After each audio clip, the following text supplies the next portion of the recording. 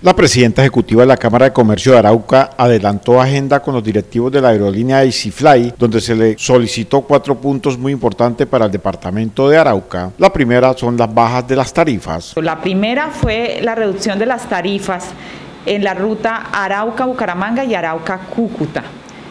Eh, ellos estuvieron muy atentos a esta solicitud y por esta razón, a partir del mes de octubre ya no van a haber de lunes a viernes un vuelo en esta ruta, sino van a haber dos vuelos diarios de lunes a viernes.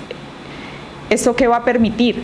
Que hayan más sillas disponibles y que se pueda pues acceder a precios más económicos en los tiquetes. La presidenta ejecutiva de la Cámara de Comercio de Arauca, Lina Patricia Merchán, también solicitó la ruta los fines de semana hacia la ciudad de Bucaramanga.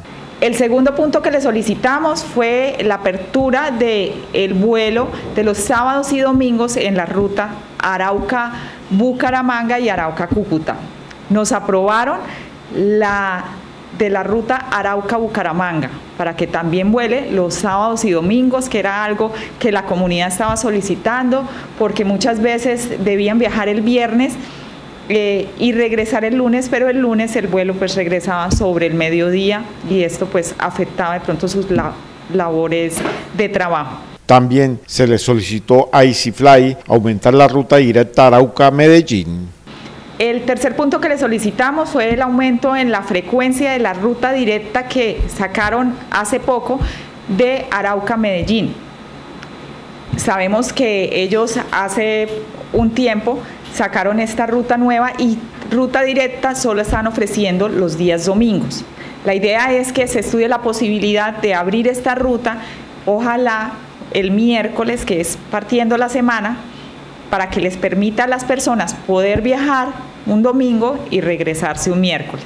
Quedaron muy comprometidos con el estudio de las cifras de las ventas que se han realizado y lo ven bastante viable eh, abrir esta nueva ruta entre semana entre Arauca y Medellín, vuelo directo.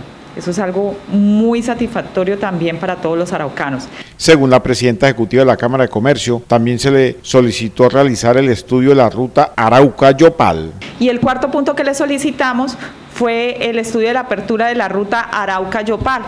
Sabemos que los araucanos vuelan constantemente, viajan a, viajan a Yopal constantemente y pues eh, queremos que Arauca tenga la posibilidad de ofrecer eh, esta nueva ruta aérea a la ciudad de Yopal con precios asequibles, económicos y pues con un buen servicio.